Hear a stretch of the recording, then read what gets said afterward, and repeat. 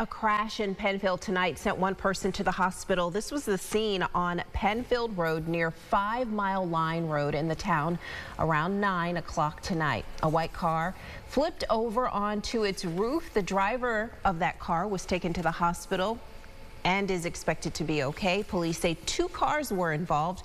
Penfield Road was shut down between Liberty Street and Panorama Trail for the investigation, but has since reopened. No charges are expected to be filed at this time.